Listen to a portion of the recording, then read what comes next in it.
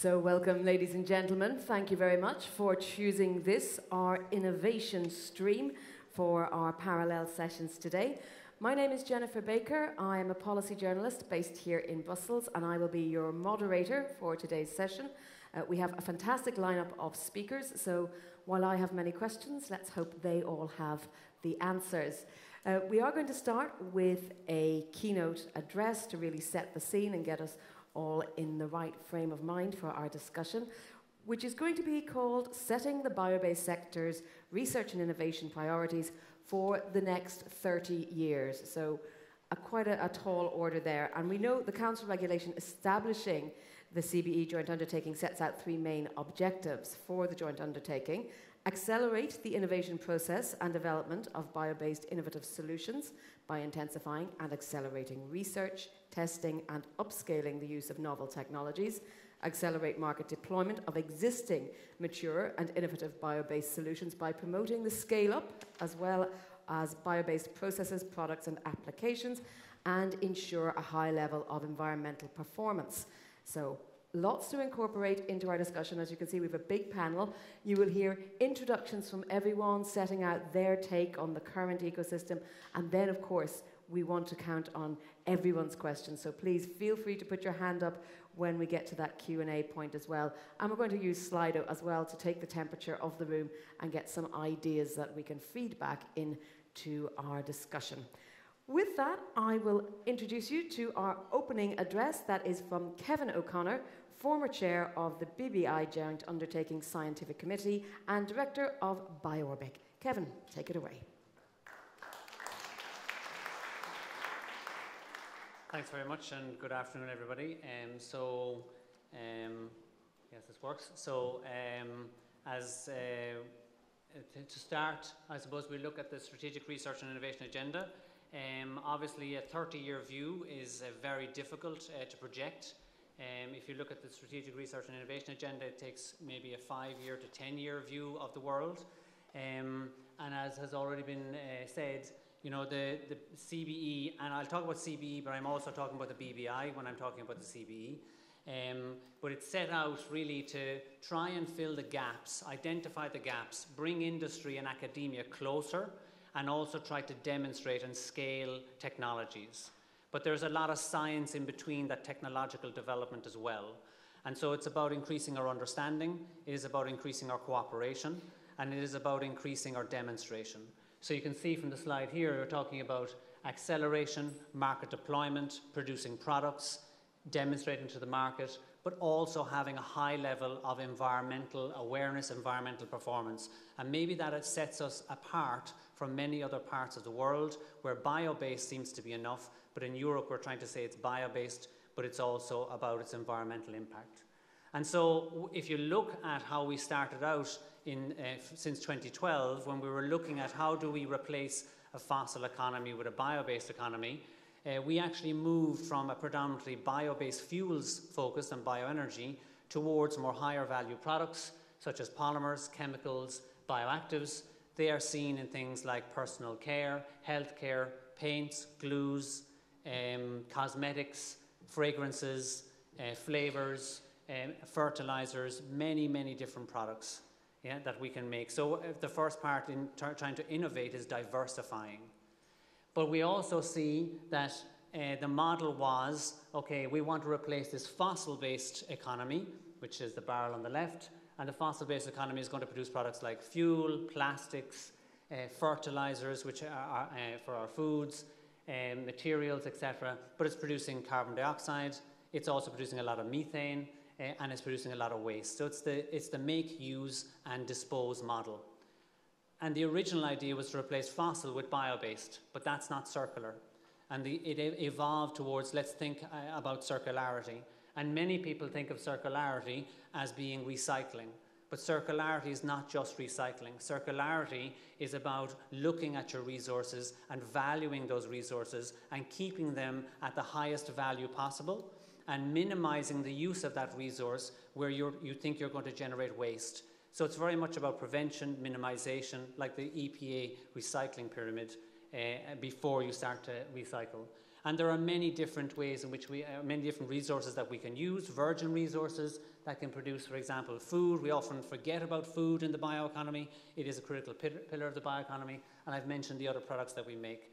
But of course, we will generate side streams, whether that's food waste, whether that's carbon dioxide, whether that's methane uh, from animals, whether that's um, dung or manure, etc., from, from animals. What can we do with those resources? We can produce uh, products of value, so therefore we're adding uh, to the value, keeping the value uh, in the material cycle, for example. And many of those products are actually returned to nature or can be used in nature, either as fertilizers, biostimulants, but also biodegradable or compostable uh, materials as well.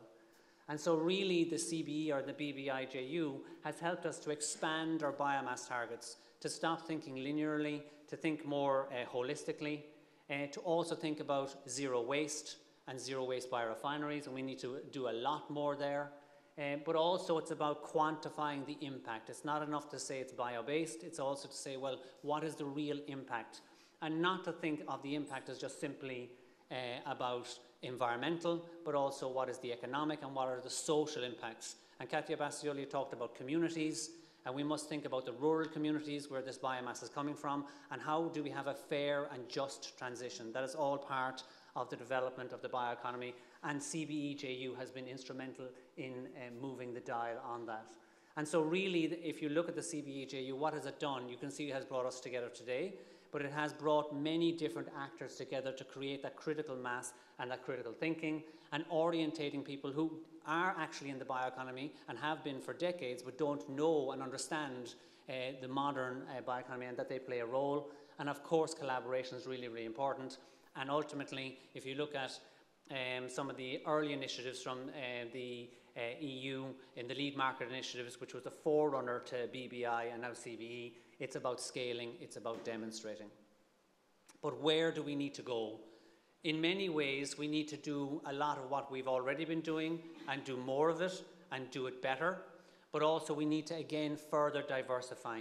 So, you think about circularity and resource efficiency, and we think about carbon and carbon neutrality, but we also have other nutrients like nitrogen, like phosphorus. These are now critically important as well, they have always been critically important, but they're becoming more into attention. And soil health.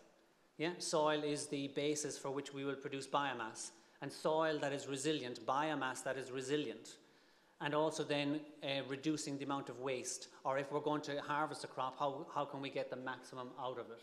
And also the poor cousin of the bioeconomy, the blue bioeconomy, yeah, has massive innovation, but it's often overlooked, and it can help to relieve a lot of the stresses uh, that are occurring in land use uh, by using the marine. But the marine is both a resilient and a fragile environment. And we have to make sure that when we exploit it, we also protect it. So, and also the information technology that is going to play a critical role is about the use of data, it is about the collection of data, it is about the access to data and the ownership of data. These things are becoming critically important. And so there's a huge role for social sciences as much as there is for technical sciences uh, in this area. And of course, safe and sustainable by design is really critically important, and bio-based has a really fantastic opportunity in this space. And finally, it's about integration of the value chain actors. And my next slide will hopefully uh, demonstrate that, that we need to go further in the integration right back to the biomass suppliers. We have it effectively on paper, but I think we need to do much more in terms of action. So deep demonstrators is what I, I would call, like some of you will know, are uh, living labs. But we need to increase the number of biorefineries in Europe. We need to ensure that they're re using renewable energy because there is an energy cost to running biorefineries. We look at the bioeconomy as producing bioenergy, but it also is cons a consumer of energy. So, how do we balance that? And we must also integrate biodiversity into our thinking when we're building biorefineries, when we're building value chains.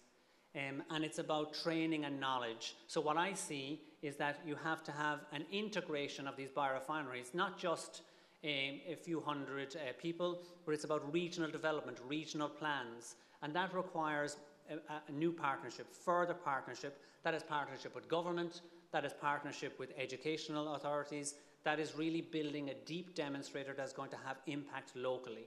And so that is again about knowledge sharing, and the bioeconomy needs to have open innovation because that is the way in which we are going to learn and we're going to maximize our potential. And of course, all of that will help to further de risk investment. So, the integration of the investment community, banking, and others into these deep demonstrators is really critical to drive that innovation. And so, just a few slides to finish off to give you a few examples. So, in the blue bioeconomy, we are not harnessing the full potential of the, bio, of the blue bioeconomy. We need much more collaboration in that space because the blue bioeconomy is much more fragmented, much more small, uh, smaller operators. So there needs to be um, a rethinking of the public-private partnership to encourage uh, smaller partners to come together and to cooperate and to really achieve the potential. And the marine has a massive potential in carbon sequestration as well. How do we balance biodiversity and carbon sequestration in that? And there's value in that. That should be part of the value chains. And we, uh, Catia Bastioli talked about soil and regenerating soil and regenerating agriculture. The bio-based industry has a massive opportunity in terms of biocontrol agents, biostimulants, biofertilizer, and also the microbiome. The microbiome is a biotech product, effectively. How do we manage it? How do we understand it so that it can maximize soil health? And we also must think about human health. Often I've mentioned food. But many food companies will tell you that they're actually not food companies. What they are is they're nutrition companies. They want to be global leaders in nutrition, both for humans and also for animals.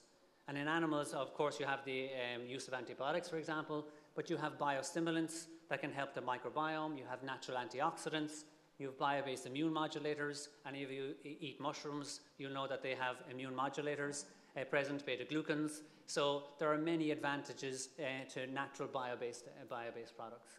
And like I've said already, the integration of biodiversity uh, and the integration of ecosystem services is really critical to the next step in the bioeconomy. How, when we're building a biorefinery, do we think about what impact does this have on biodiversity? How can it positively impact at farm level? Uh, and also, how can the ecosystem services of cleaner water, air, yeah, uh, um, contribute to the value chain of the bioeconomy and our bio-based production systems.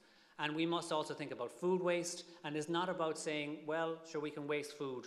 We must not waste food, but where there's unavoidable food waste, what can we do with that uh, food waste? And I think that food uh, waste is one of those wastes that can actually feed into a multi-feedstock biorefinery where you have seasonal gaps, yeah, and you can actually fill the gap uh, with food waste.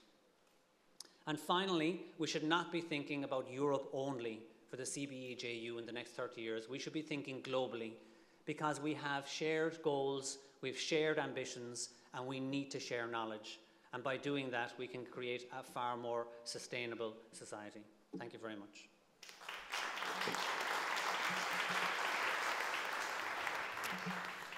Thank you very much indeed, Kevin. And you are going to stay with us for the panel, so grab a chair wherever you like. Now, so, yep, have a seat. We're going to uh, have a question on Slido now. So if you want to grab your smartphone and go to slido.com and put in innovation after the hashtag, or simply, or, sorry, innovate after the hashtag, or scan that QR code up there.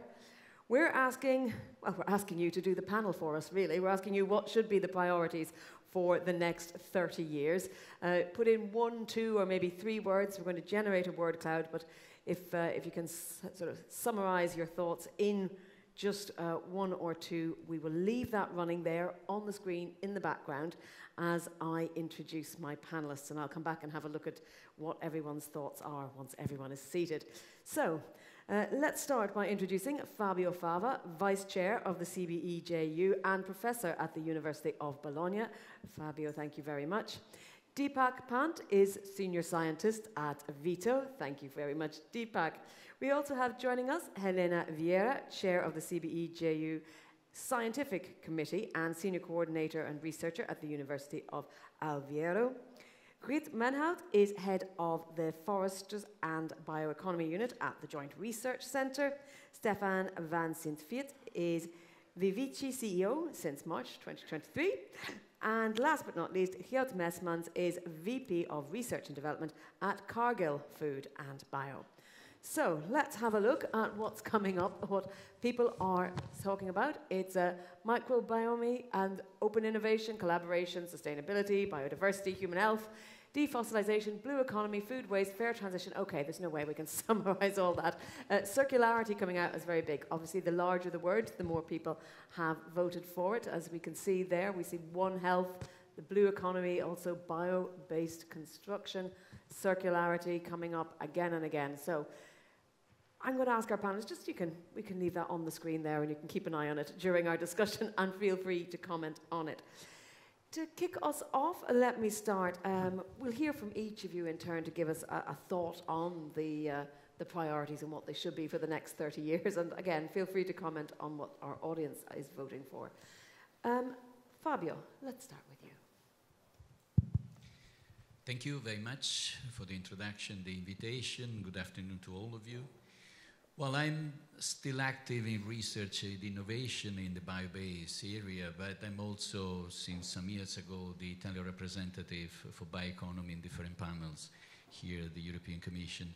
So my inputs will be mixed, blue sky research, but also concrete requests coming from the stakeholders engaged in the area. Well, the points are the sources of biomass, so the feedstocks, the inputs would be on the processes, but also on the products that are coming out from the sector. The resources, the feedstocks, and uh, my friend already mentioned the role of blue uh, economy. So the bioresources coming from the sea and the oceans are really prominent.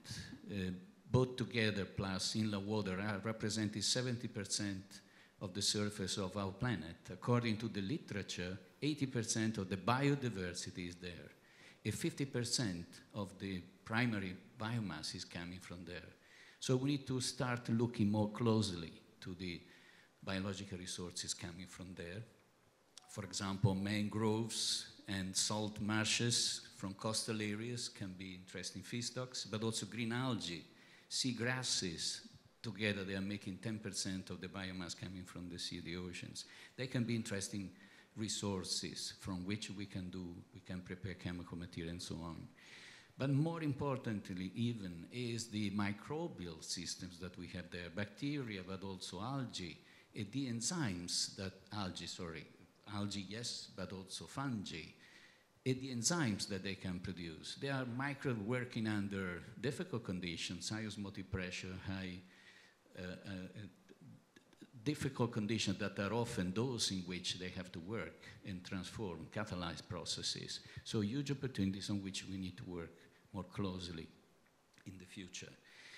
And then more concrete, the municipal biowaste that we are producing remarkably in our cities.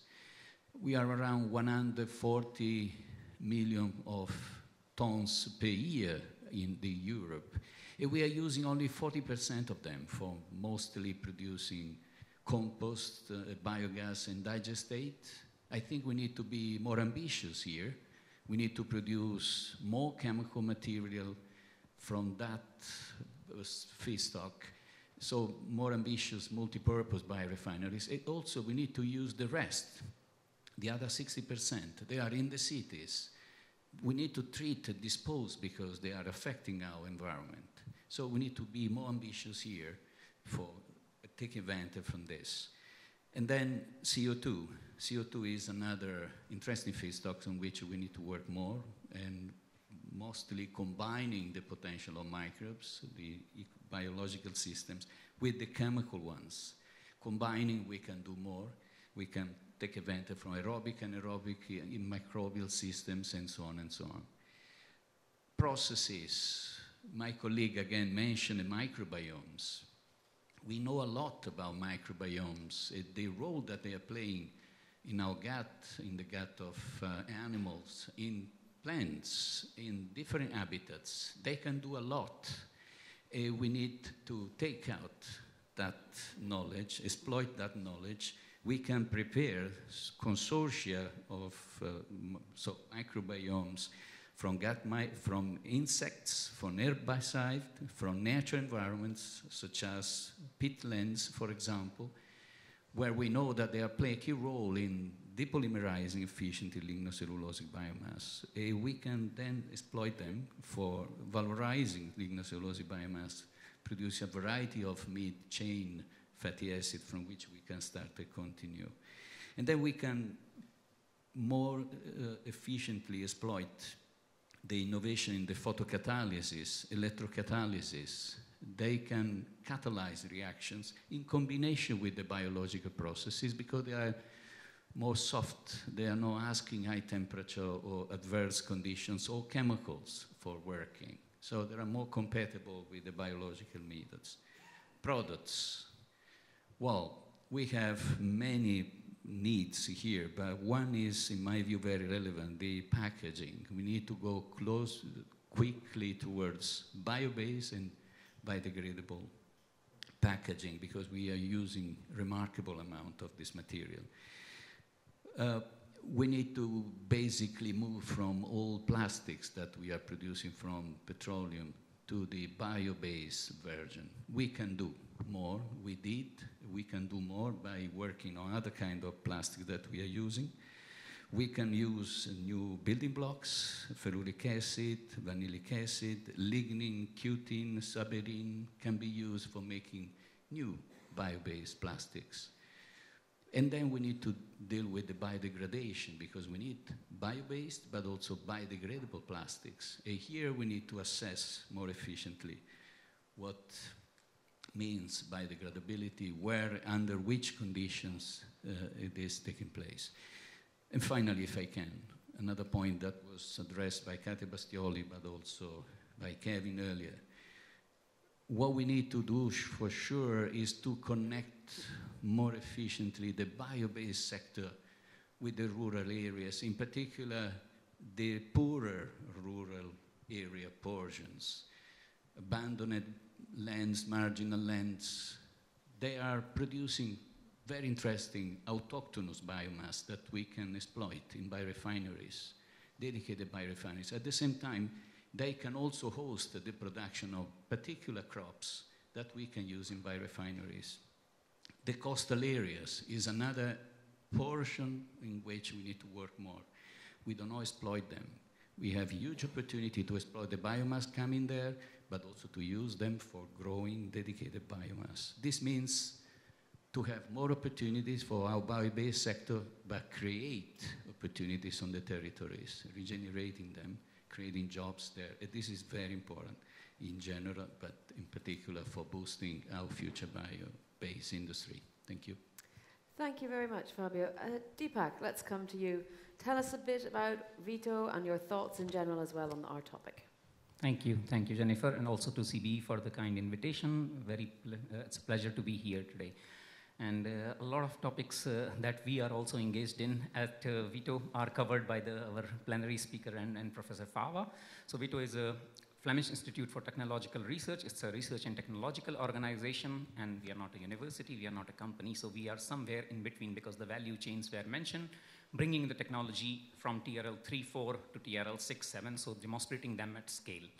And several of the points that were mentioned now, especially about lignin, so that's one of the feedstocks we have been focusing for last 10 years. Our joint center of excellence called Biorizon just uh, celebrated its 10th anniversary in Netherlands together with TNO that was established.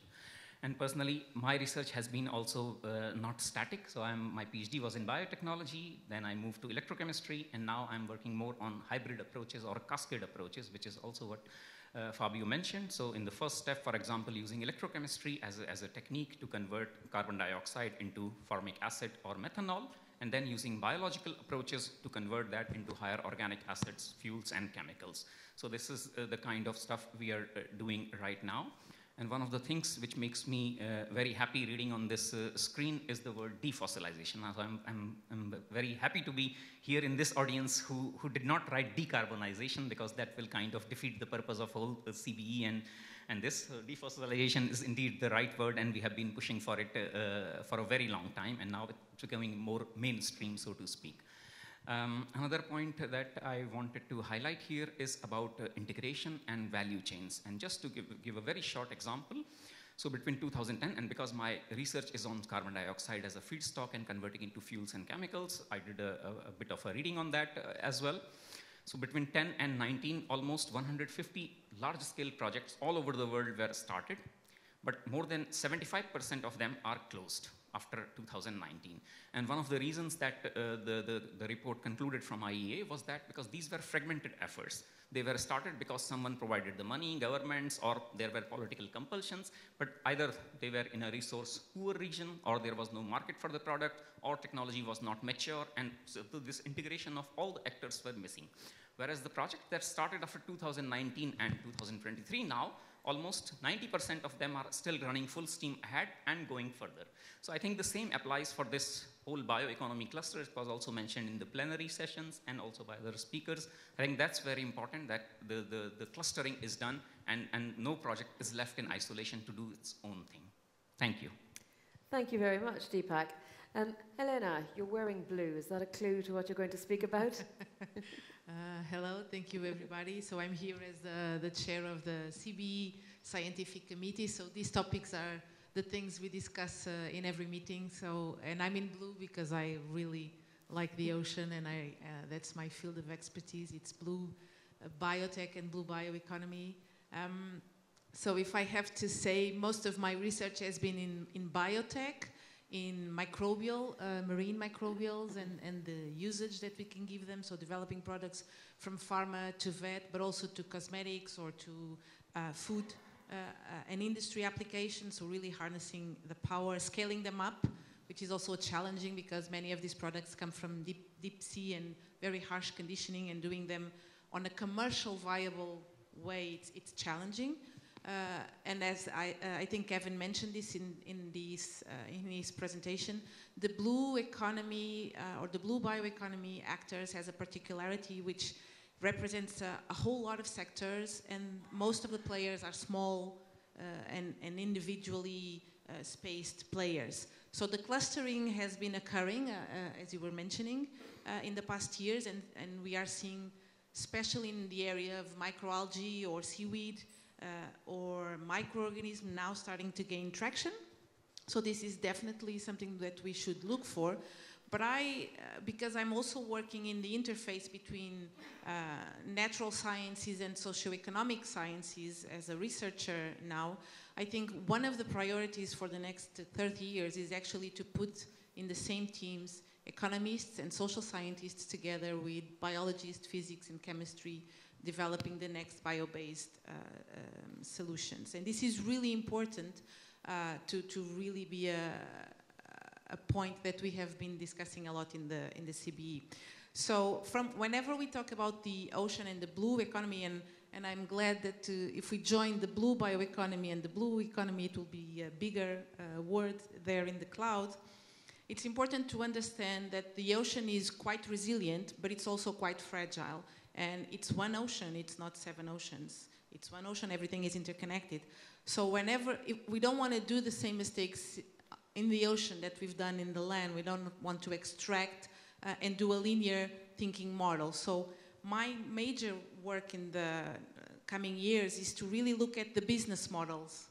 How can we actually develop the bioeconomy uh, looking at new business models that incorporate the biodiversity and the ecosystem services into the monetization models of the bioeconomy. So this is also something that we should uh, be thinking of. And finally, I also would like to discuss here the water challenge. Uh, the next 30 years we are going to have, and uh, I don't remember, I think it was Kevin's last slide with the world map, and you can see there's a, a big line of uh, dry uh, planet.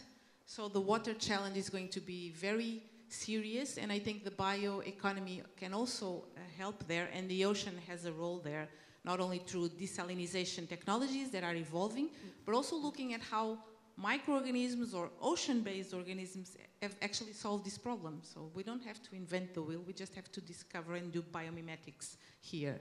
So these are a few topics. And finally, but not last but not least, Look, looking at the circularity also from the, and here I'm going to speak about carbon and nitrogen cycles, the ocean is a big chunk of, of these. And again, if you link all of these to the, have a fresh look at business models, how can we create the next businesses of tomorrow that are really monetizing all of this. Because if we can put value in this biodiversity, in these ecosystem services, in, in restoration and in recovery, as much as we put into the extraction, then I think we can shift the path of, of bioeconomy development for sure.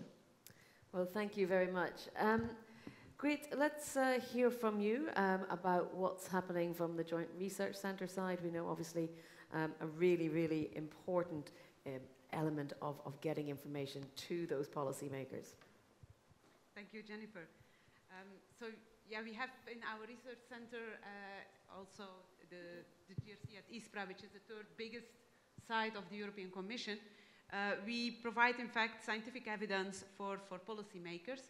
Uh, and we have there the Knowledge Center for Bioeconomy, which is gathering quite a lot of information, uh, data. We look at uh, biomass flows, for instance. Um, we look as well at integrated land use assessments.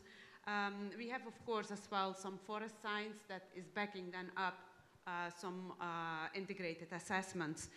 And for us, we see the bioeconomy in a certain way as an enabler for the European Green Deal implementation. Although that word bioeconomy is not mentioned in the European Green Deal, so for us it has been a little bit uh, difficult sometimes. Um, now, what we see, however, changing is that from going uh, from uh, a pushing of the bio-based production sector, we go rather now to a pulling from the consumption uh, point of view. And I would like to mention that there we, I see three big challenges. Uh, the first thing is that we have been working a lot on rural development, and we reached a lot in the Eastern European countries. There has been really uh, a big boosting of this uh, bio-based production. Uh, however, citizens, 80% live in urban areas. They don't live in uh, rural areas. And the citizens, they want food. They don't want food waste, they want food. And there we have a, a whole, whole link which we need to further uh, work out. An integrated view on uh, sustainable food systems is really something I think that needs to be further worked out. That is a first challenge, I believe. A second challenge that I see is that we have a huge variety of small scale products, also uh, bigger scale products, but a huge variety without that we can upscale to uh, a full-blown bioeconomy yet.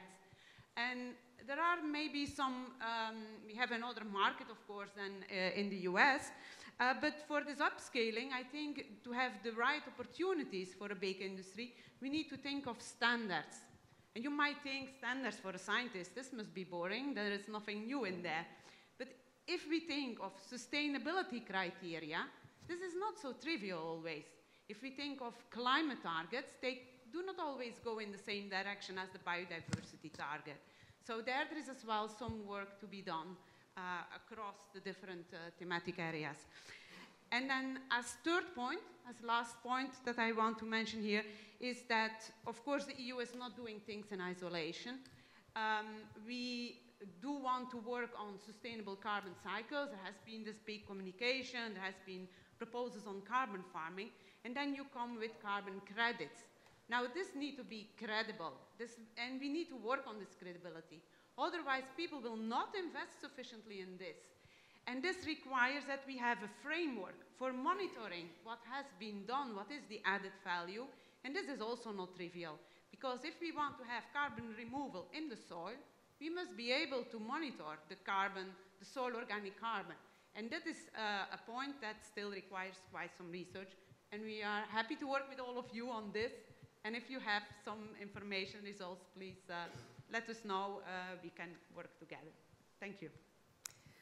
Thank you. Um, Stephan, uh, let's come to you and hear a bit about uh, Vivici. But I know that before this role, you also led the Dairy Cultures and Food Enzymes business unit at IFF. So you're bringing uh, a lot of background and experience to this. So tell us your perspective.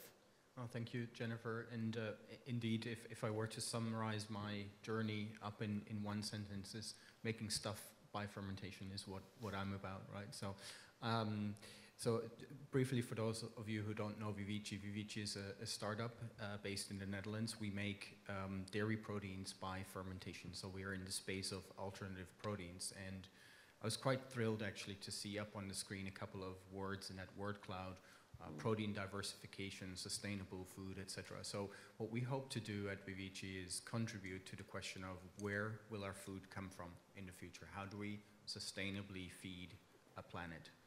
Um, and as part of that, really look at the protein transition. Um, now, why is that relevant? Um, if you actually look at annual protein consumption, it's 600 million metric tons per year that we consume. Um, protein is one of the largest traded commodities on the planet. It's almost as big as oil, which is not surprising because everybody on the planet is a customer. We all need protein, right? And um, that protein demand is actually expected to double over the next uh, years, driven by population growth, but also driven by uh, more affluent consumers who wish to see more protein in their diet. Now, there's limitations to how much we can sustainably make with the current ways of making our protein, especially when we look at animal-derived proteins, so eggs, milk, meat, right? And um, so really, whether you look at this from a pragmatic or from an ideological perspective, there is no future scenario in which we can keep making our protein the way we do it today, sustainably, right? So alternative proteins are really without an alternative, no pun intended.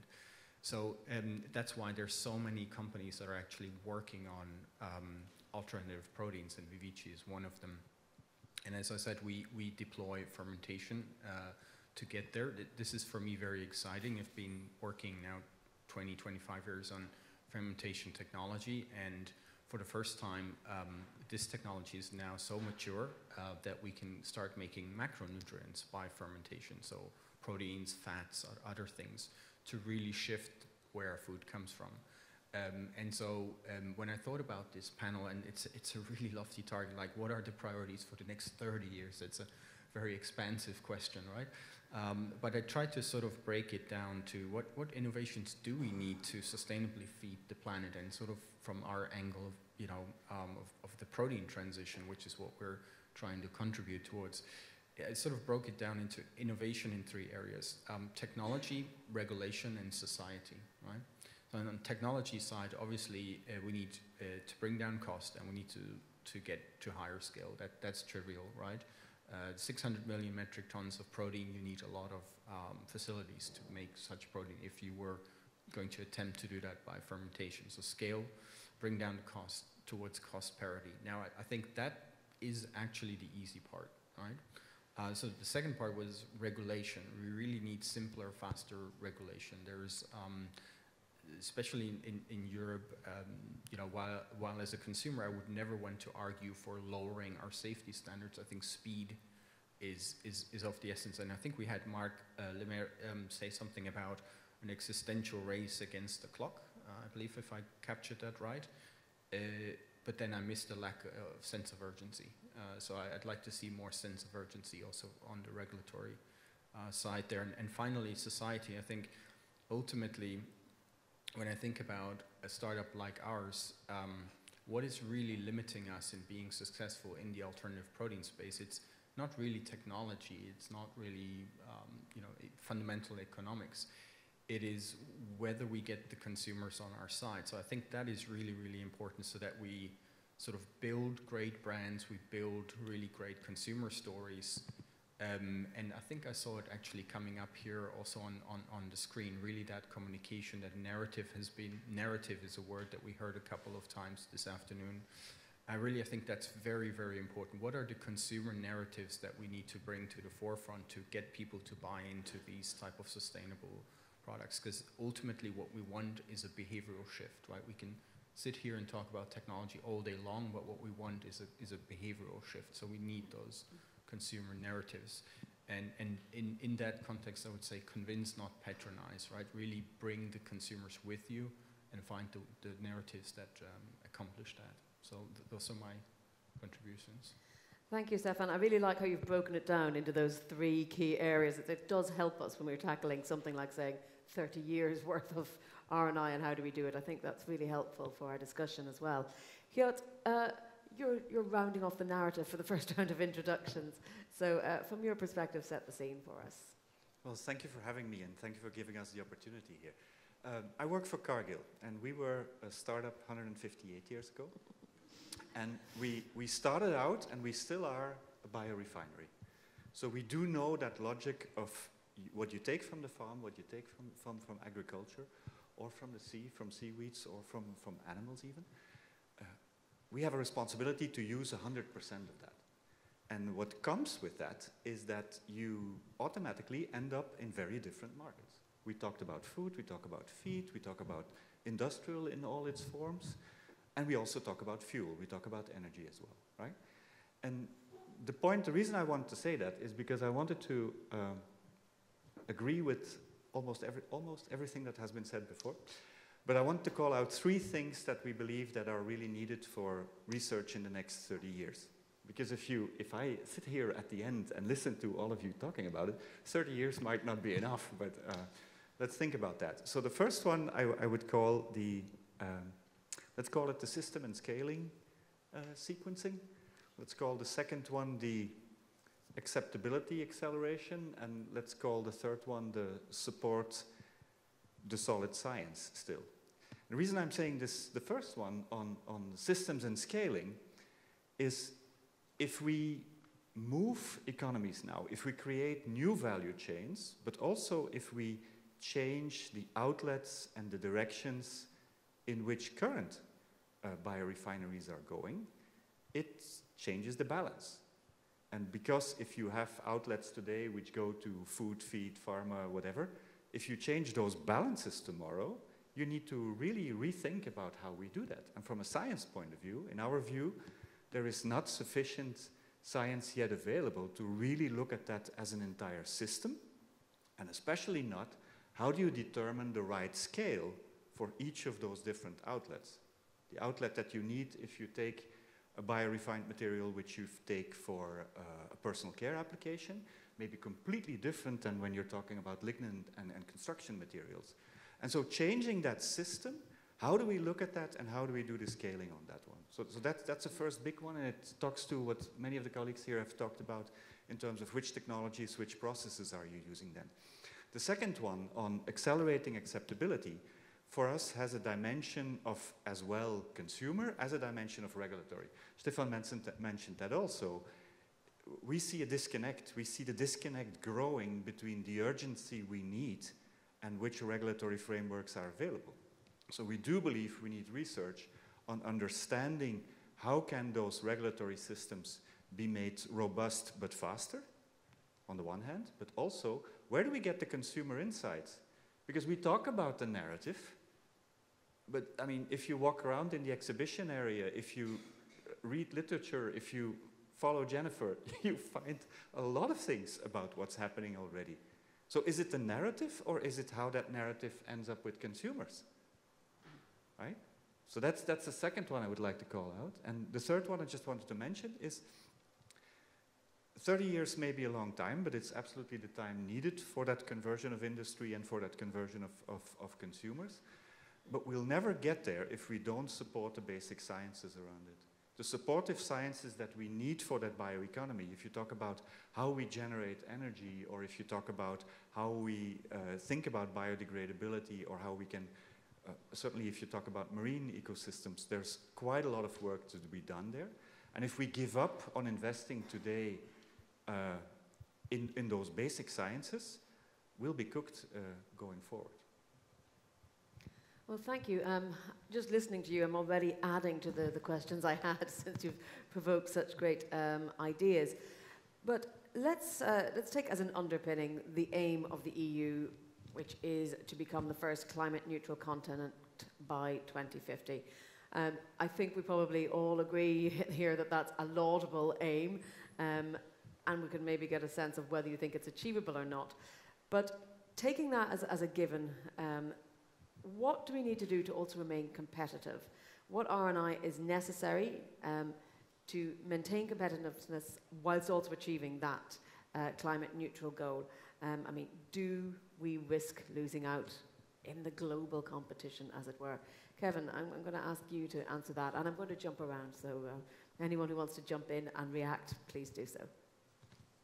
Okay, um, thanks very much, Jennifer. Um, so on the 2050 target, is it achievable? Um, I think yes, but There's a lot of things that need to happen if it's going to be achieved.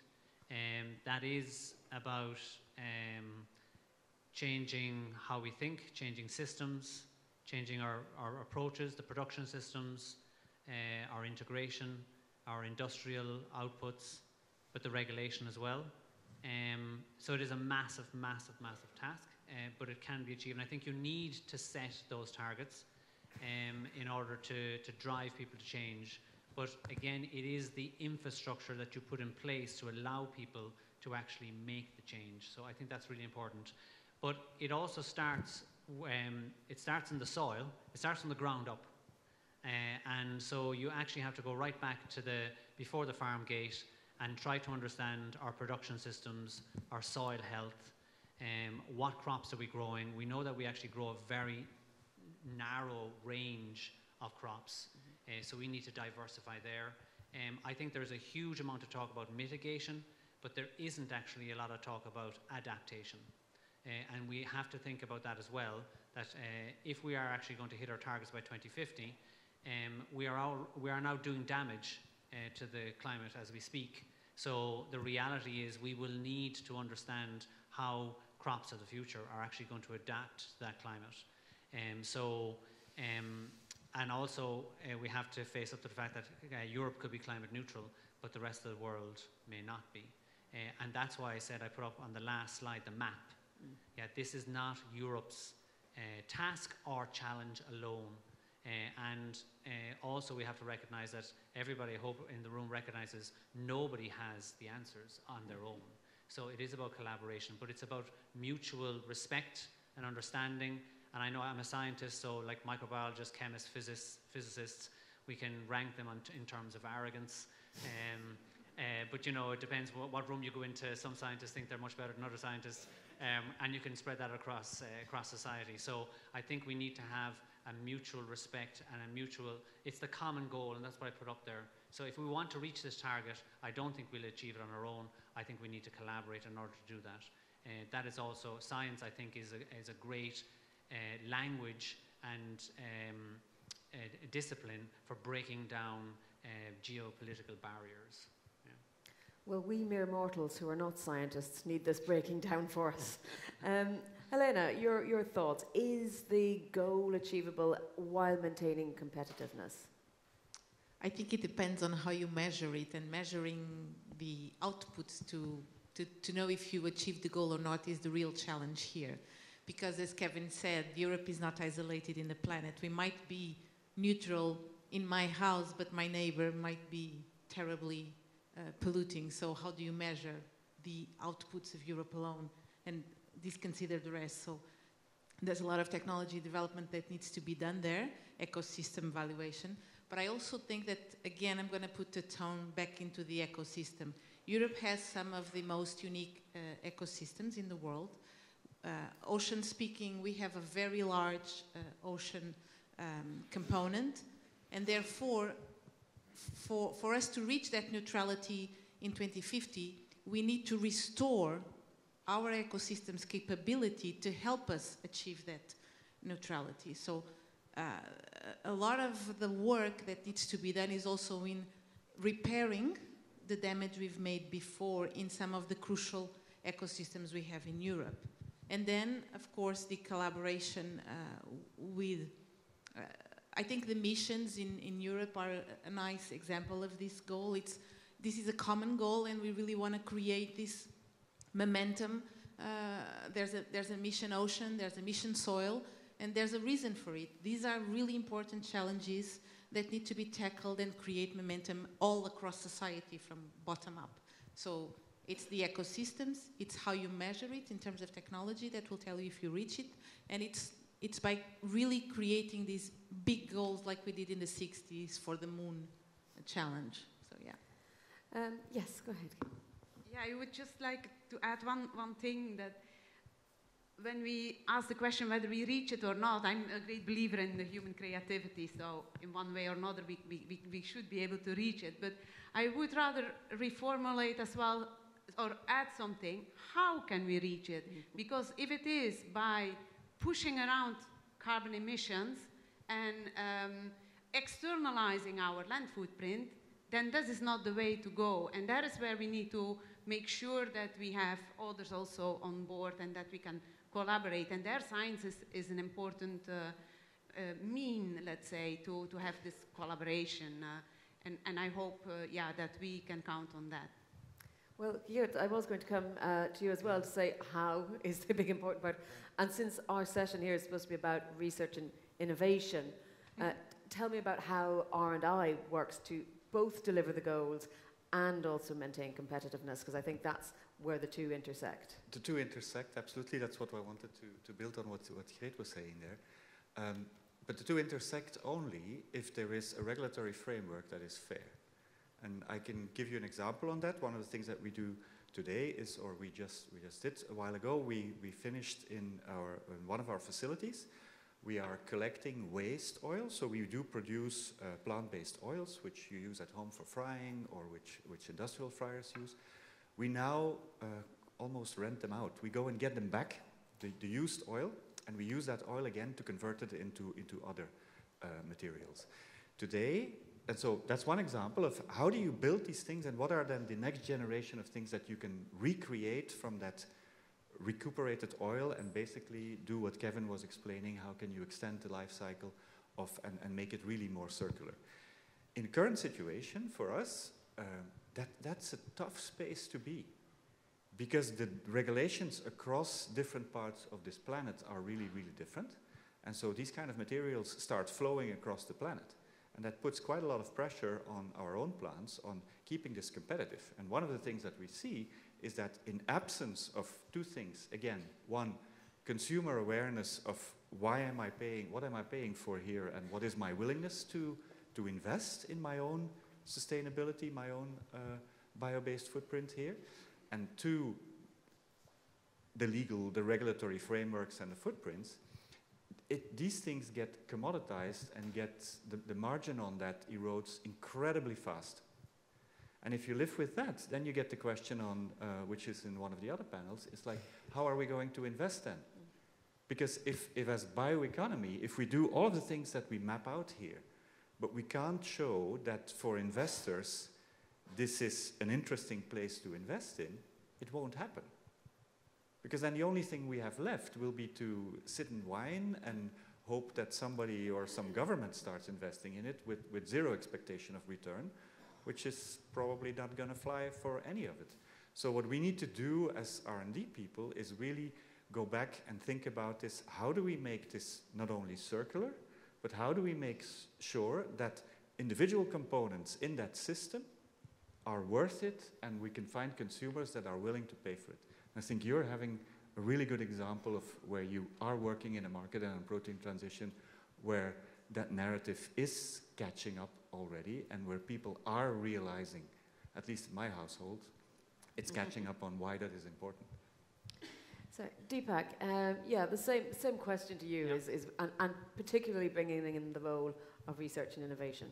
Yeah. So uh, uh, first of all, to answer your first question, will it be achievable? I think that's very much possible. Eh? And also, I have no doubt in the amount of technologies as well as the, the uh, pioneering technologies being developed in Europe by, by researchers uh, all over Europe.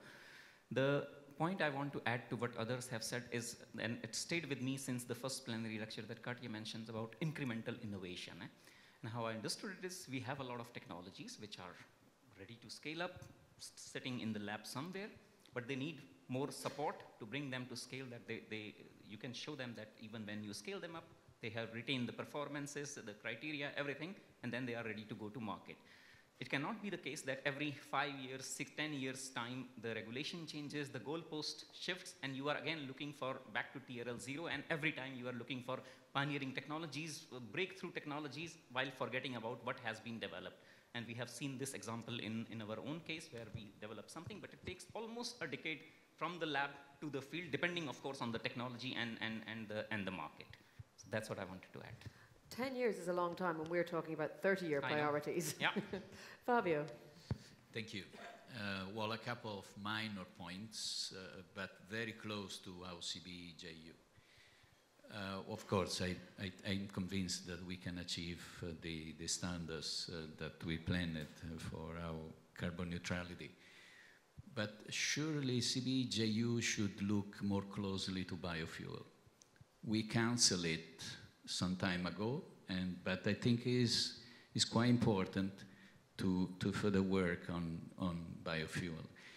We have to work on biohydrogen. We need to better connect the multipurpose biorefinery chemical material and fuels. We need biofuels. 65%, 65% of the emissions are coming from the production and use of energy. A biofuel is an interesting opportunity. I think we should reconsider this position that we had in the CBJU because this is the momentum to, to do it.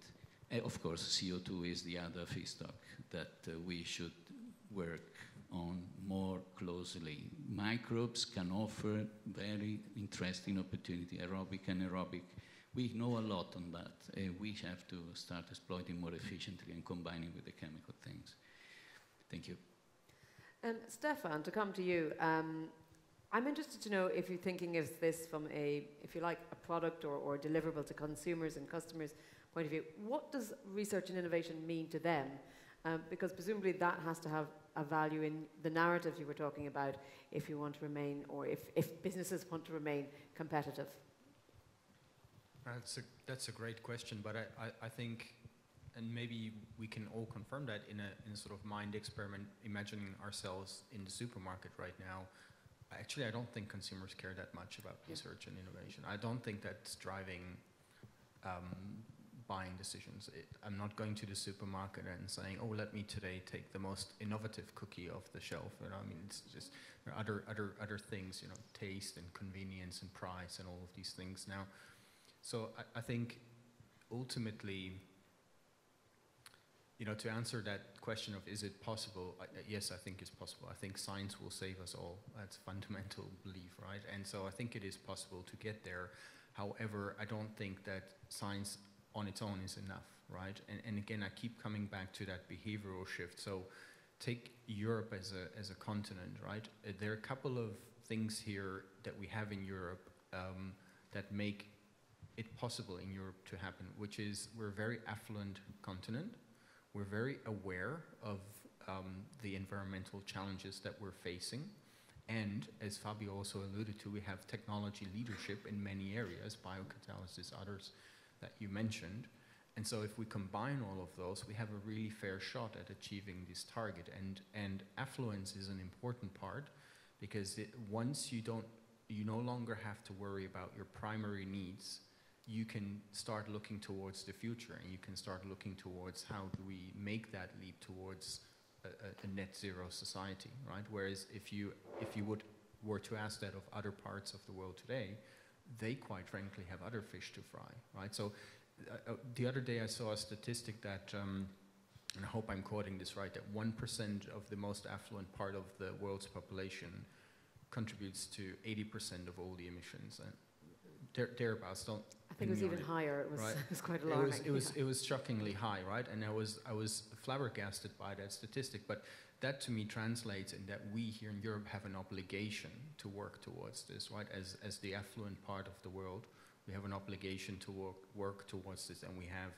I think, a population that is, um, is, is, is, is, open to these type of solutions. And in many cases, like, like you said, you know, in, in, a, in your household, in our household too, you know, do, do we mind paying 5, 10, 15% more for that sustainable product? We can afford it, right? It's not such a huge uh, portion of our, of our spend, right? I mean, that's where, um, where, where not neglecting all the, all the, um, you know, the problems around poverty in, in Europe, but uh, so, so not trying to be, um, uh, how should I say, uh, you know, patronizing towards the, the European population, but I think that affluence really gives us an opportunity here to, to make that uh, transition in combination with awareness, in combination with technology leadership, and just to grab onto that word competitiveness, right? Mm. That's a that's a really big um, topic on my mind because as a as somebody leading a European biotech startup in Europe, I would like to see Europe win the biotech race, right? And right now it you know, it doesn't necessarily look like, right? Let's be honest, right? So there's really, um, you know, if you look towards the US, you look towards Asia, right, there's a much more uh, higher sense of urgency. And so I think we, we have traditionally been a continent of bio-innovation. Um, and I would like that Europe, you know, leverages that edge that we have and leverage that into the future and not give up this leading position going forward. Kevin, did you want to add something? Yeah, just um, on the on the competitive uh, part, and uh, you've stolen my thunder, but I, will repeat it. So, um, yeah, so it is the level of investment. Yeah, so if you look at Asia, if you look at the States, uh, and this is really important. So uh, it is it's important that we uh, are investing in the right things and investing at the right level. Uh, and I think this is still not I mean, the European Commission and its framework uh, program is huge, but what, what are we investing in and how much are we investing? And the other thing is that um, Braskem from Brazil made a fantastic quote at a conference I was at recently and said for every dollar that world governments invest in bio, they invest six dollars in fossil. So what are we investing in? And that's my, that's my point. Are we investing in the right things and are we investing the right amount of money in those things? Well, we've talked um, a little bit um, about uh, technology. So, I mean, I'm interested to know what you think is needed to strengthen technology transfer and collaboration between the scientific community and industry. I mean, what is the missing link there? Is what is the what is the secret sauce, as they say, that perhaps they have in the U.S. or in Asia that we're somehow not seeing here in uh, in the EU. Helena, would you like to tackle your thoughts on that? Uh, yeah, that's actually a good question because I, I, just published a paper uh, two weeks ago uh, on the trends um, now and expected for chitin and chitosan and collagen from marine origin, uh, which is just an example to study something more common. Uh, and we've actually looked at all the publications of scientists uh, from ever into these topics. And it was really interesting to see that all these publications, uh, the, the trend is that they stop uh, very early in the value chain. So the goal of scientists is to publish and to, to get data out. And this is data from many, many years in three different value chains. And then when you compare to patents and, and you compare what the scientists think are the applications of that uh, research and of that knowledge, and they name almost every possibility. And then when you look at the patent landscape, that, that part is not uh, fully published yet, but we are working on it. It's really focused on three or four areas of application, which is where the competitiveness uh, is. And the reason I'm bringing this to, to the table, and this was really interesting to see, is that also the authorship of those patents, of those publications, sorry, are Asia, Asia, and did I mention Asia? So Europe is like tiny slice of that. So there's two lessons to learn here.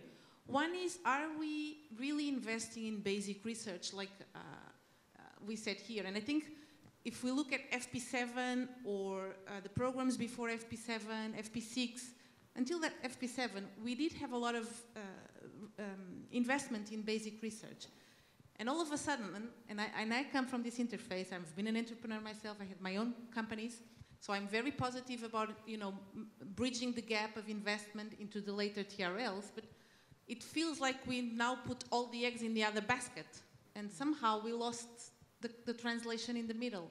And I think this is where we probably are lacking here in Europe, is more programs into these uh, TRLs, uh, intermediate TRLs, that force scientists to work side by side from a, an early stage with industry to co-develop and, and, and, and, joint venture into this uh, field. So I do believe there's a conversational space that it's not being occupied here by scientists and industry.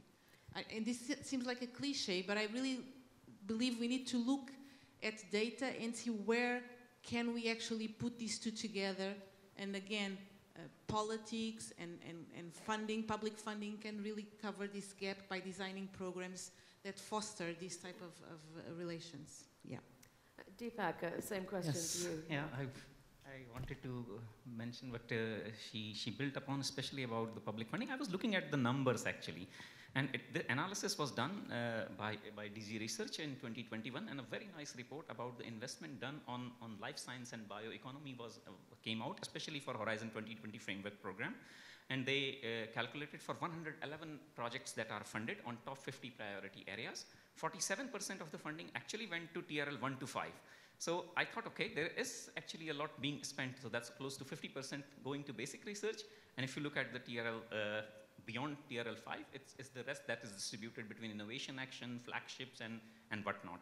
So that was, that's, and, and again, when I was looking at that funding, I will come back to what I was saying before, that not to look at projects into very uh, segregated uh, research. It has to be a value chain systems uh, thinking that, that everything is, is, is, is considered before and after the project finishes and not ends at publications only and that too with uh, co-authorships from uh, from because that's not a bad thing eh? because collaboration is is needed and and not one continent or one country or one organization can do everything by themselves. So i don't see it as a as a as a bad thing uh, so to speak but then it has to bring uh, things move forwards. That's what i wanted to add. Stephan, uh, your thoughts as well on, on this and wh whether we're missing something. Is it a gap between industry and innovation research?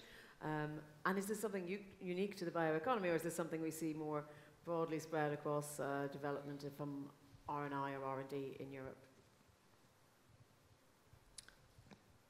That's a really good question. I, I don't think I have a, a satisfactory answer because what you're essentially asking is a bit of a cultural question mm. almost, right? Uh, like, why do we have such great cards to play yet fail to play them in a smart way? What, what, what's, you know, what's the magic sauce that's missing? Um, in sort of starting and scaling biotech companies here in Europe, what one of the things that I've seen is that we um, we tend to be somewhat risk averse as, as, as people when we become entrepreneurial.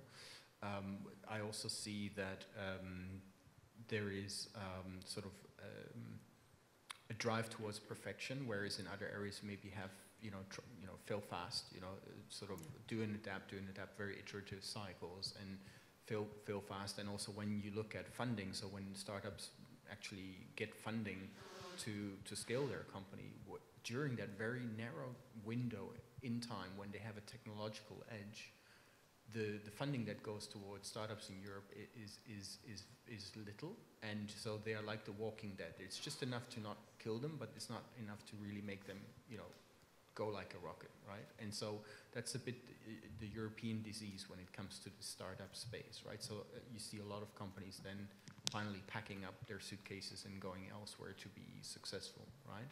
So I think ultimately, if you're looking to translate all of that great science, all of that great knowledge into something that will you know reach the consumer which ultimately the vehicle to do so is a company right? And and so you have to start that somewhere. And and that's maybe where um, either culturally or from an infrastructure or funding perspective we fall short. It's sort of the, the best way I can put it. I, I don't think that's a very thorough analysis but it's, it's a difficult question because it doesn't have an easy answer. Yeah. Um, I mean, Geert, do you agree with what you're hearing from Stephan? Because if you have great resources, be they human, be they uh, biological, be they, be they all the economic, um, and you're failing to sort of become a world leader, it's very frustrating. Yeah, no, I, I would fully agree. I think it has to do, uh, I would call it with, uh, we, I mean, first of all, we're very blessed in Europe given the environment we have and given the number and the, the, type of tools which are available to make this work, those are there. I think I fully agree with Stephan, it has to do more with culture. And so one, I would say there is an element of realism that is missing here. Uh, Deepak, you mentioned that some of these things take 10 years. Yeah, but then you cannot have people expecting that we're going to be billionaires in two years from now, right? So, so, so that, that realism, also that we, we have um, I mean, and people are not more naive or different in Europe, I would say, than when I'm dealing with, with opportunities in the United States or in Singapore. But it's like, how do you progress on there? Like, so what are this, that realistic expectations of what it means? How much IP do you take? How much IP do, do, do you allow me to have? How do we move forward on? And second point is really about impatience. We have a lot of, we're, maybe it's cultural, and Helena can probably answer more on that. It's like, it really is like, uh, we, we like to write three to five year research programs, and once we got the grant for that, nothing moves anymore. We move at the speed of the grant.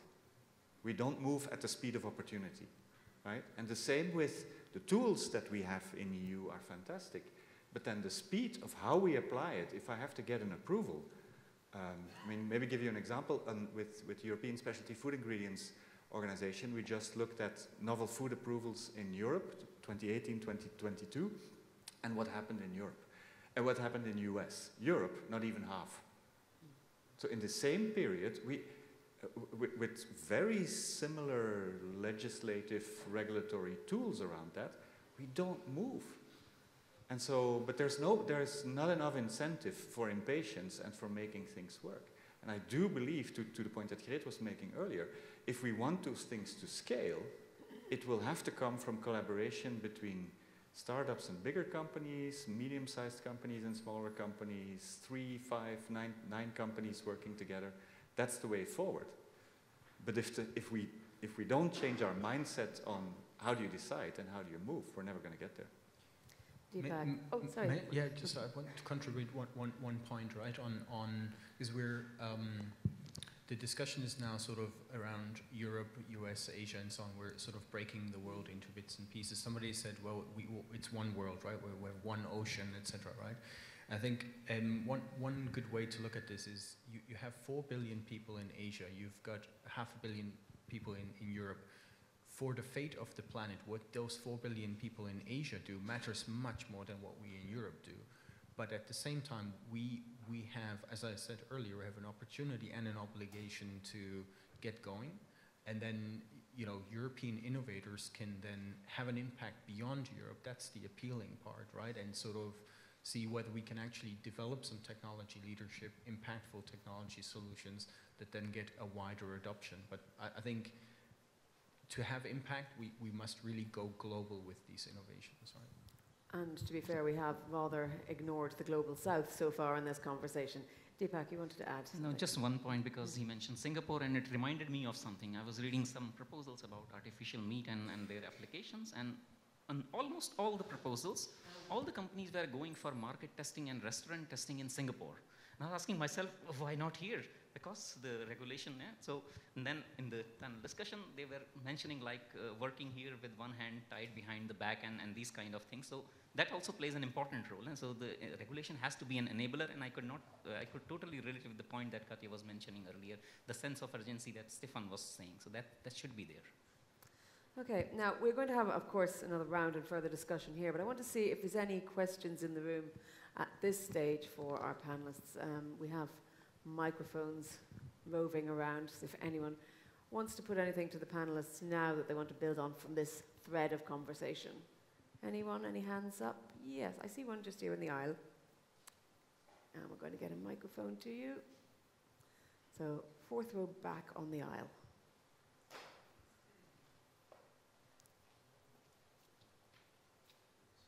Thank you. I'm David Newman. I'm the chair of the European Bioeconomy Bureau Hi to Kevin and to, to Fabio, old friends. Um, one thing you haven't talked about is market pull. If you look at all the innovation which has actually come to market, renewable energy or uh, battery electric vehicles, etc., over the last 20 years, it's all because we've laid down targets and we've laid down obligations. We don't even have a target here for these materials beyond they can be used for sticky labels on fruit and vegetables, for God's sakes. And yet the European Commission is investing 3 billion euro in researching into those same materials. Wouldn't market pull targets and market pull obligations solve a hell of a lot of your problems, for example, in terms of your startup business, giving you markets that are determined by legislation? No one spoke about this. Anyone want to try and tackle that question? Stephan? You to rely on market pull as, a, as was suggested? Or oh, Greet? No, no. we can take it in turns. Greet, go ahead. Uh, happy to mention only that we believe in diversity as well. Uh, so um, that's a little bit in Europe you have uh, to, to balance, and that has, of course, always the problem that you don't invest the billions and billions that you need to have a big shoot, but that can, of course, fail. So we don't do that. We, we have much more diversity. This is our social system. This is our, we are not a technocratic system that decides on one, one thing. And so you leave space for everything.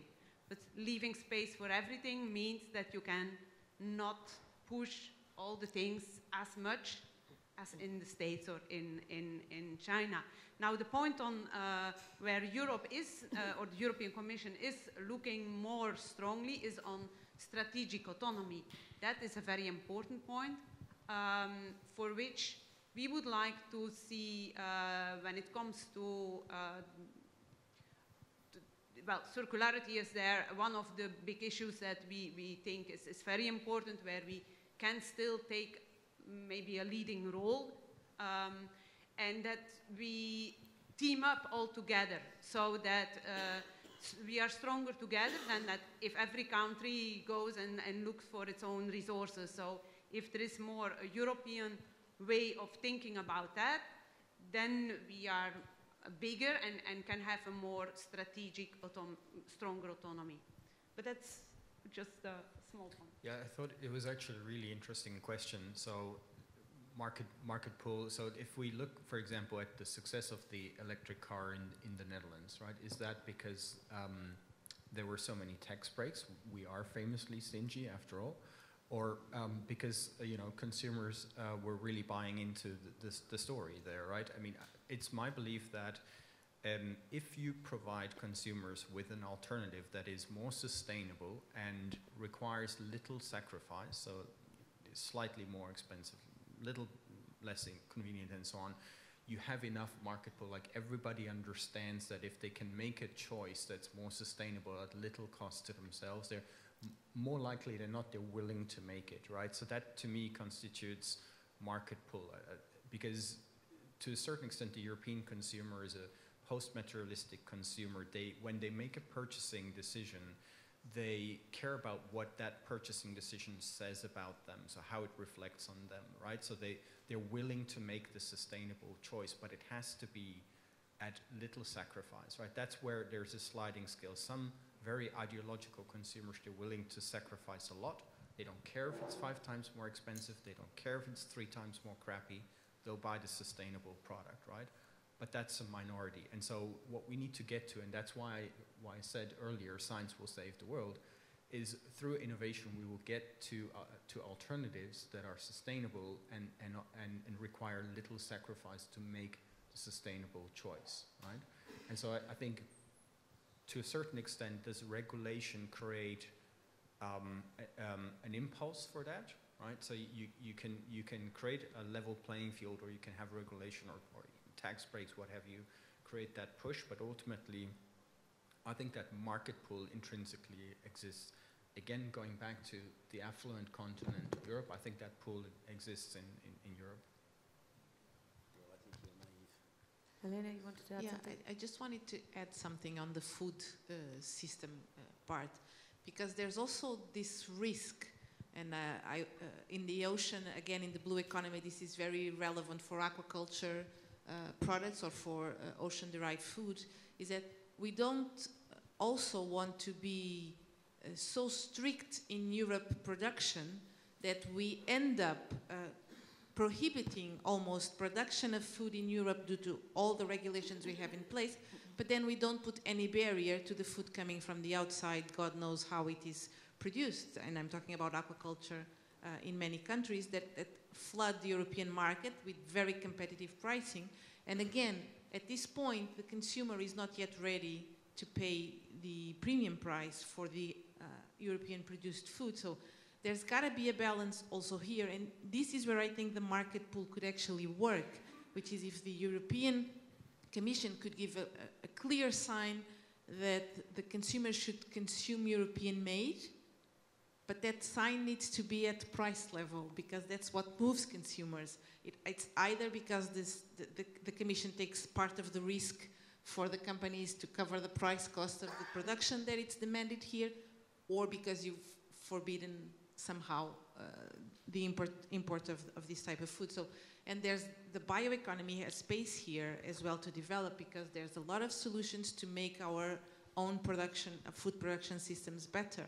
Not only you know biofertilizers, but also technology-wise for species. You know, new foods approval is really a problem here in Europe. So I don't want to talk about the problems, but I also believe that Europe needs to be very careful in this regulatory framework and how we we we look at what's uh, built outside. And in the strategic uh, autonomy and uh, Europe being very open and, and considerative of all the options and, and providing and dividing, you know, the egg basket among everybody, I think there's, uh, this is true for the Horizon or uh, programs, but for example, you look at the EIC, the European Innovation Council, and the funding they are giving for the scale-ups and the startups, and they have clear challenges and they have clear bets that they do every year. So they're not putting all the eggs in, in all the companies. They are really looking at strategic um, sectors and giving a lot of money for state uh, level, so 30 million or more, to European scale-ups in these strategic uh, areas. Agriculture is one of them. Renewable energies, uh, supercomputing is another one, for example, just to give you uh, two examples. Yeah. And of course, other instruments are available. It's not just EIC, there's things like EIT Food and so on. They're all doing supportive acts. Kevin, uh, you wanted to jump in on this point. Sure, yeah. Uh, sure, thanks very much. So, I do think targets are very important. I think we should be setting targets. Um, and they're not the only solution, but I think they help to stimulate the market, they help to um, de risk investment, uh, which is really, really important. Um, and, but I also think market incentives are really important. I, I said earlier, maybe it was a bit, um, uh, wasn't uh, direct enough, but what are we investing in? Yeah, so very much part of, okay, where are the incentives to actually drive uh, market uptake? Uh, and I do think targets uh, are very important. But I think that Europe prefers targets for reduction than targets for production. So if you look at plastics, for example, how are we going to get rid of single-use plastics? A very good idea. But there is a fear, for me, there's a fear amongst policymakers uh, about change uh, in Europe. And so that fear, then you can argue maybe, and it's a bit unfair, but it's paralysis by analysis. Yeah? And so then, uh, well, if I go this way, oh, that'll happen. If I go that way, oh, that'll happen. And I find that if you go to the States or if you go to Asia, they're much more about learning by doing. And you can argue that there are flaws in that approach, because then you make a lot of mistakes. But maybe you, you do need to make mistakes uh, in order to in order to learn. We are all like Oscar Wilde said. People say that they learn from their experiences. They don't. They learn from their mistakes. So I think there is a bit of paralysis by analysis, and so, but there's also I feel uh, there are, and I talked about this earlier. There's still too many market incentives for the wrong products. So you need to change. You need to change that. We need to change the narrative and, you know, there are certain parts of the European Commission that will back recycling of fossil based plastics over bioplastics because we have a full understanding of the life cycle of these fossil based plastics and what recycling can do, and we don't have all the answers for what bio based. But surely we understand that we cannot, we cannot remain with fossils. So I think there's, there is a bit of lag behind, uh, policy is lagging behind uh, market innovation. That's a bit complex now, but yeah. uh, Fabio. Well, simply, I fully agree, and simply, we, we, we, had the privilege to listen Catia Bastioli in her talk, and then at the end, she went to the points. So that is the point, the one that were mentioned. And there is this not consistency in, in, in within the commission, no? different directorates. Uh, we invested a lot in the innovation that we are talking here, billion, yeah, it's a long story. Fantastic things, uh, but we have problems in having legislation recognizing these products, as it was mentioned. So that is, I think, the core problem. And the other one is that we need to have more partnerships, public-private, because this is crucial for then transferring, and then the link with the local territories we should not forget the opportunity coming from more synergies in between what we are launching here, what we are developing, and what should be implemented in the territories. Synergies also among uh, funds, that the, structural funds that can be aligned, etc. This can help, of course, the, the, the transition, the setup of the, the industries. But again, but the main point is regulations, in my view, very clear the point. Thank Greet. you. You. Yeah, I, I wanted, however, to, to come back as well. I, I agree that there are definitely uh, failures made. I think that is not uh, what I want to contest, but I think there are as well some great progress. Uh, there's great progress made. So we have recently uh, the EU deforestation-free regulation, where we ask consumers to pay for a, a higher price in a certain way for biocommodities that should come from areas that are then not anymore deforested. Um, for instance, thinking of cocoa and chocolate, uh, in Europe it is from the, first of, uh, from the 30th of uh, December next year, we can be sure that the chocolate that we are eating is not anymore made with cocoa that comes from a, a forest that has been uh, degraded with cocoa plants. And that is thanks to this regulation. So some thinking uh, on how to uh, start bringing our values in this, uh, in this trade is, is, is happening. And I think is a, a, nice step forward. We would need to do on more, but it is not evident. So on chocolate, which is a, a luxury product, you can do. If it is on the standard products uh, of wheat, this is already much more delicate. Uh, so we want to go for a fair transition. This is not uh, so evident. But I, I agree with, uh, and also on the, the fossil subsidies, we definitely want to have them disappearing.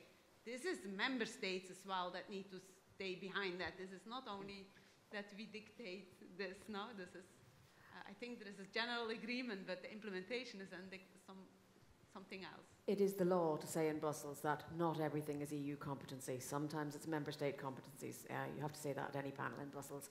Um, Geert, uh, you had a comment you wanted to add? Uh, sure, wanted to, to add as well that uh, building on what Stephan was saying there, it's like if you, experience we have is that if you replace a product simply by a bio product, it only works if it's as qualitative and preferentially cheaper then it works. The, the, room for creating new standards and creating, but then also a lot of customers totally don't care. They don't want to see it. They, it's, it's other people in the chain that are interesting to say. And so the market pull, if you like, is coming from uh, the ingredients uh, buyers of big companies who are making those kind of company. The opportunity to create market pull is if you could show where that differentiation and that value addition is. And if you can't show that, you'll never get to market pull. What I'm, the reason I'm very optimistic about this is that I think one of the things that you see now, thanks to a lot of the tools that EU is, is putting in place, you, we do see more startups happening in Europe. And a lot of these people are starting on the right angle. They're starting with consumers and they're putting things on the market which are truly different from what, quote unquote, the, uh, the bigger companies traditionally have been doing. And in that way, they're pushing us and they're, they're helping us all as consumers as well, at least me as a consumer, to look at other things that we're doing. And so it, it's this dilemma, I think, where we are in, in this transition point. I, I think that's what, what, what Geert was referring to as well. It's like you have these opportunities and you have this market pull very locally and by very small companies. But in order to have the impact that we need to get to 2050 and beyond, we need to find ways of scaling that. And very often, then the market pull comment seems to be going away. I don't have a clear answer on it, but I, I am very hopeful that we have these startups and people who are trying to do things differently that will help us with pulling that market. Yeah, just a quick point. I suppose that yeah, I suppose we're talking in the negative about uh, regulation, etc. But you also have to say that the BBI JU and the CBE now has been a huge success, and that has been as a result of policymakers in the EU taking big risks. Uh, and when uh, bio-based industries first approached people like John Bell, uh, nobody knew about the bioeconomy. It was incredibly risky. And if we look now at the number of biorefineries that are in Europe, and we should expect failures of biorefineries because this is the normal growth cycle. Yeah, uh, we shouldn't be afraid of failure. Uh, even though as Europeans we are paralysed by it. Um, but uh, it is really important to recognize that uh, the, the investment in innovation, the investment in looking at the market and looking at the potential of bio-based has been very much like there's been great foresight. Yeah, so we, I, I want to say that because I know there's a bit of negativity in the panel, but I think it's very important to recognize that, okay, there are many problems, but there are also people sticking their neck out to try and create this sector. Okay, I'm, I'm, going to put on my devil's advocate hat here for, for a minute and feel free to disagree with me. Um, there's a, a, couple of things I'm hearing. There seems to be quite a, a an, an, affinity, if you like, for the fail fast, fail better um, approach that we maybe see in particularly in the US. Um, obviously, the bioeconomy is important. We're talking in some cases, we're talking about foodstuffs here, and no one wants to be a guinea pig. So, I mean, that's my pushback against that. The other thing is there seems to be a generalized assumption that investment in R&I or more innovation automatically de facto leads to a more expensive product at price point for consumers. And that isn't necessarily the case. Surely innovation can lead to not just better but also cheaper products uh, to consumers. So I'm pushing back on both those, um, and I'm going to see if there's any comments or questions from the room. Uh, anybody else like to ask our panel anything? We are getting to, okay, good. So we have third row, so let's go left, left to right. So right down here on the second row in the end, and then third row in the middle, and we'll work our microphone all the way back. Uh, my name is uh, Nelo Emerencia. I work for the Bio-Based Industries Consortium. And when I listen to your question whether climate neutral Europe is feasible by 2030, uh, unanimously everybody says yes. But the angle so far has been by science. And the statement was even made, science will save the world. I believe that we miss one huge dimension, that it is, it's not going to happen if the people are not along. If the behavior is not along, and I believe Stephan is the one that came close to what I feel now, is we can, you know, R&I is out there to, to facilitate, to make things happen, to, to build biorefineries. We can, we can design and, and, and build the most fantastic biorefinery. We can make the more beautiful product, whatever. But if John and Mary and all of us here don't buy it, don't use it, and consume it, if we don't change our behavior, it's not going to happen. So I believe that, or this suggestion, maybe we should start speaking not only about R&I, but about R and I and E, and the E standing for education, because I believe this is the best way to get this behavioral change. That is to start with education from primary school, and then go through all the system, and not only those that go through schools education, but general, again, John and Mary in all societies. So education and getting into this behavioral change is what I believe is key. Thank you. I don't think you're going to hear any disagreements. It might be about where does that responsibility for that sort of education lie. Uh, Deepak, you wanted to say something? Yeah, I couldn't agree more. I mean, this is something we have been missing in, in the discussion so far, and what he's mentioning is about the willingness to pay. As the European Commission parlance, they say, you make a product, if, unless there is no willingness to pay, you can't shove it to the consumer, and that's that's one point. Another point for missing R&I link for the coming years in the in the board or something is is about the social science. Eh? So how to alter the consumer behavior? I think that should be also brought into picture. That's now we are only talking of the lab-based research. Eh? doing in, in, in our, our shells, but this is more uh, to, to directly reaching the consumer and trying to understand the needs in the first place and then how to influence them in the long term. That's Thank you. Another question. Well, my name is Hans Keuken, the Process Design Center. So, yeah, we also do quite a lot of uh, biorefineries. Well, what is bothering me? Uh, um, well, Europe is very good in uh, regulations. Eh? They often we try to over-regulate things, and it is, yeah, stopping us from doing things. Yeah, which is not nice. But one of the things is, of course, the LCAs we also have have to do. And when I look at LCAs, when I look for, for instance, well, the lady in the middle tapped on water, for instance. Yeah, you mentioned water. Well, water-wise, we are not doing that good compared to the fossil industry. Yeah?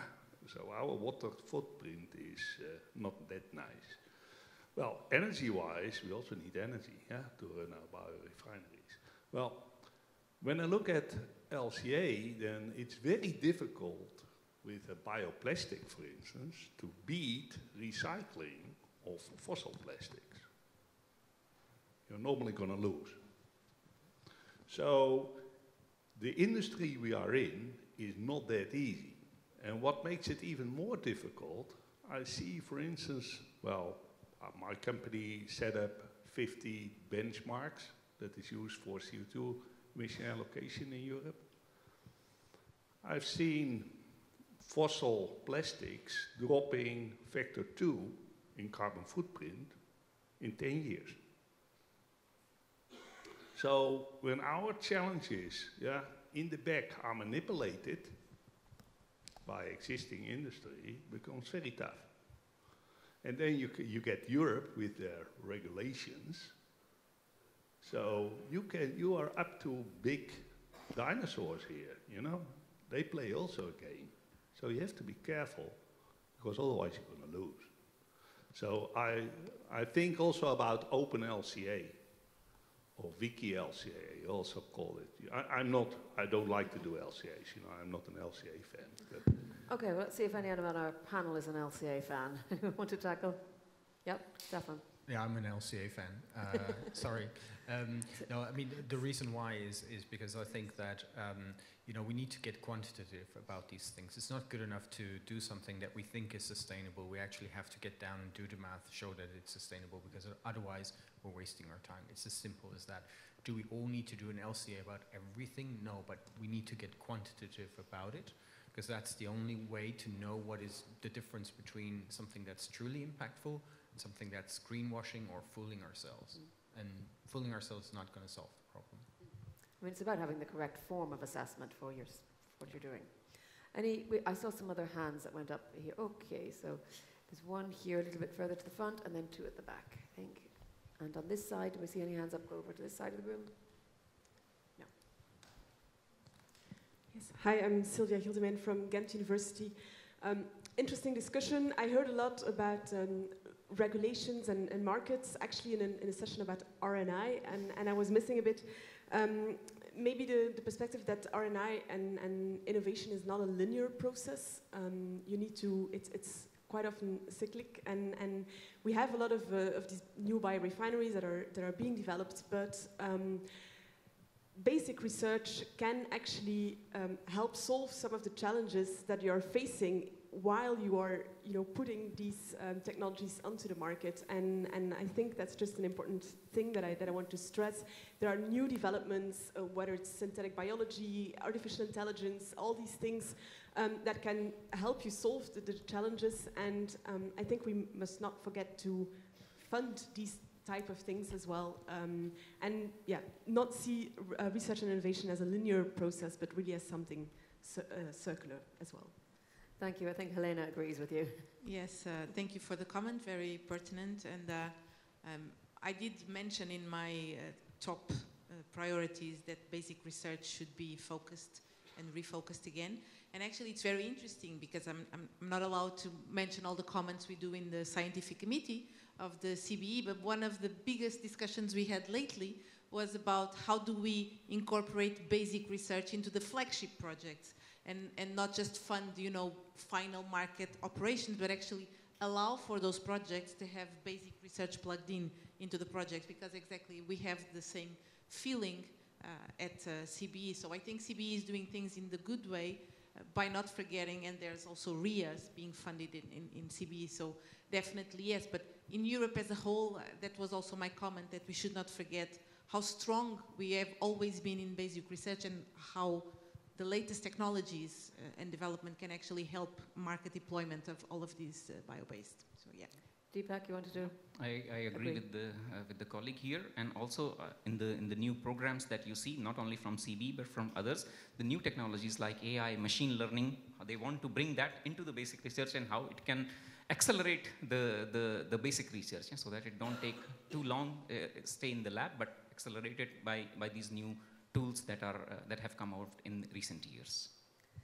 Okay, uh, more, if everyone could put their hand up, we'll try and get to as many as possible because we don't have a huge amount of time left. So uh, one, two, three, and three. Okay, perfect. We'll have the, the, the gloved hand at the back, please. Uh, okay. My name is uh, Gerlin Karina Christensen. I come from North Sweden European Office. We represent Northern Sweden, and I'm the bioeconomy policy advisor. And uh, I completely agree about the deforestation regulation in regards of chocolate and uh, coffee and uh, all those commodities, but it also regulates any kind of forestry biomass, even though forestry uh, is not a global driver of deforestation, not in Europe, not nowhere. So, uh, and there's going to be huge, uh, our, our analysis says this defor- deforestation regulation is just going to throw gravel into the entire development of the bioeconomy uh, that are dependent on forestry uh, biomass.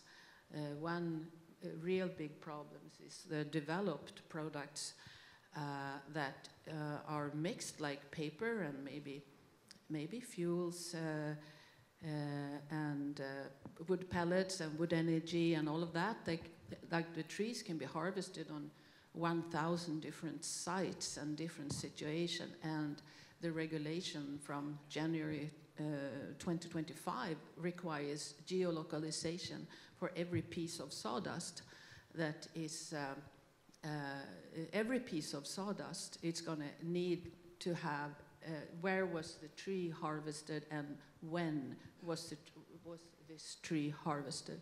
So that's going to put a huge uh, amount of bureaucracy and liability on the entire development of the bioeconomy uh, that we all want to see happen. Thank you. I'm going to take the last three questions together just for expediency. So we have one here at the front, and then we have the lady at the back. Thank you, panel, for this interesting discussion. My name is Astrid Hannes. I work for the European Region Research and Innovation Network. We represent more than 124 regions all over Europe. And that is maybe also the word that I would like to add, adding on on education mentioned here, on fundamental research mentioned there. Uh, the, the, the, public authorities, they popped up in the discussion, oftenly uh, relating to regulations and how it is difficult. But I would also launch a positive call on that note because I really think that public authorities are partners in this joint mission. So if you get them on board, also from the industry side and from the research side, and really do this ecosystem approach also in working together, I think it's really a very important step to get them involved from the beginning so they can actually support to put the best possible conditions in place to deploy solutions afterwards and also think a bit in a, in a uh, cost efficient way, not to endlessly duplicate things that already have been done elsewhere, but see how cooperation can actually support scalability, transferability, and really uptake by, yeah, in the end, citizens at local level. So that was my addition. Thank you. A good addition. And uh, our last question or comment here. Yeah, hi, Acacia Smith from the Good Food Institute. Uh, we're working to advance alternative proteins. Really happy to see that food is part of the discussion today. Um, I think generally food and particularly alternative proteins tends to be very underfunded. Uh, there was a report from DGRTD um, earlier this year which showed that under Horizon 2020, only 1% of funding went to alternative proteins. So it's clearly not enough. Um, and yeah, I strongly believe that research and innovation into to taste and price is a really key driver here, and it should preferably be public funding so um, the whole sector can grow. I think one of the issues we see is that product um, development, so the R&I that's addressing the taste, the price, and bioeconomy are being dealt with as two different subjects, and there's this lack of um, circularity in that funding, which feels like a big barrier. Um, and yeah, just to mention as well, I mean, the UK, I can't remember if it was today or yesterday, but they published this new, um, their own initiative on biomanufacturing with 2 billion in funding, uh, including uh, cultivated meat in scope. Um, and so it's a big question to end the session with, but how do we create more synergies between bioeconomy and food and really bring food more strongly into the discussion when we know that we, we need to reduce agricultural emissions if we're going to meet the Paris uh, goals. Well, thank you all, all three there for your comments. Uh, Kevin, you want to react straight away? Sure, yeah. Uh, just on the first uh, comment, I absolutely agree, and that's why I put it up on the slide about deep demonstrators and bringing in, and when I said government, I mean local government, regional government, really, really important. And I, I have actually an example in Ireland where we work with uh, Tipperary County Council, which is the, lo- uh, the local government, the regional government, and their um, investment of their time and energy with us along the road, and that's been for six or seven years, has made it so much easier to deal with things like planning, deal with things like you know building a biorefinery. All of these things they, they understand, and then they start to bring in other partners and say these guys are doing this. How can they work with you in synergy? So I absolutely agree. But I think that's what the BBI is trying to do as well, and the CBE is trying to build those partnerships. And I think for the next phase, it's really about further integrating and further developing and making them critical central par partners. Uh, on the food bit, um, I did again open with saying that food is very much part of the uh, bioeconomy and it's a critical. In Ireland, we say food first. In the bioeconomy, the first product that comes out of the bioeconomy is food, and then other products um, arise. So, um, and maybe it's my perception, but I, actually think there, it is changing. The amount of investment that is going into alternatives is increasing. Um, because people realize, okay, we can solve some problems with the current agricultural system, but we know that ultimately we need alternatives as well. I don't know if that's fudging it or not. Well, I've just had a look again at that, uh, that word cloud that we generated, and I do see on there, I see nutrition, food waste, veganism, and sustainable food all in there as categories. So there is some support in the room, obviously, for, for that. Anybody else like to comment on any of the other points raised before we go to a final? Yes, Fabio. Well, yes, uh, thank you very much. Uh, the lady here in front, uh, coming from, if I understood, Commission dealing with the, the regions, that is exactly what we need, and we need to reinforce that kind of action, uh, crucial, co-designing since the beginning. That is very important. So personally, I think is uh, one of the major solutions that we may have. About the food, food is in the bioeconomies the, the, the most important pillar of our European bioeconomy. And as Kevin mentioned it, any nation, any country with national bioeconomy strategy is bringing together food, connecting food. CBJU didn't push, well, BBIJU didn't cover so much in the past, but now we are improving. We are improving, we are doing more, and it is a key word that we plan, we are discussing uh, also in the, in the state representative group that, I, that I joining. So it, it is coming. And then education, Nello, crucial point. As a professor, I can say crucial, but it's not longer and not enough the education at the university level. We need to go deeply and actively at the primary school, secondary school. They are very close to, to the bioeconomy. If we are growing them properly, they will be the new citizens, but they align the mother, the father immediately in the evening after the experience. They are the only one that are aligning us, right, our kids, in doing, changing things. So yes, I fully agree on that. Uh, great. Yeah. yeah. maybe one small comment on the deforestation-free uh, trade regulation. Uh, on the, the forest and the wood, indeed wood is one of the most difficult uh, biocommodities uh, when it comes to the monitoring of that. But we believe that forests definitely are degrading. The resilience, uh, their climate resilience is going down. Um, and it will be more difficult for the forests outside Europe than inside Europe.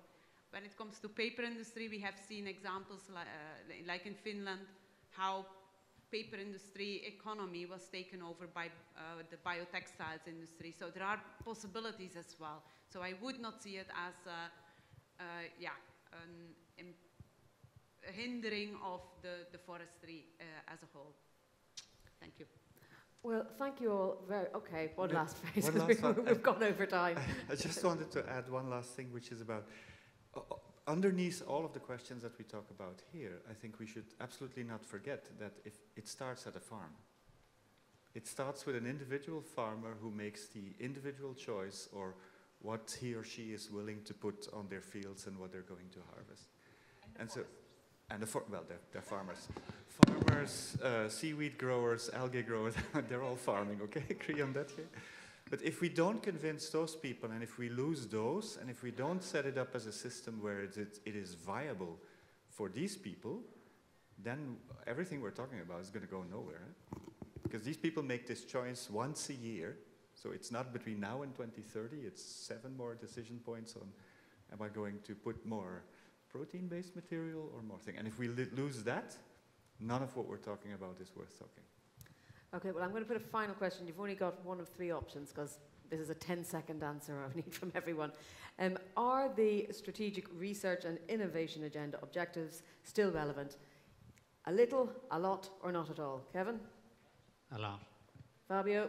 A lot. Deepak? More than ever. We, we Helena? Always. Always, indeed. Yes, Stephan? Would agree. And you're not going to dissent now. Okay, great. thank you all very much. That was very quick and easy. Um, thank you so much for the great questions. Thank you, and please give a warm round of applause to our panelists.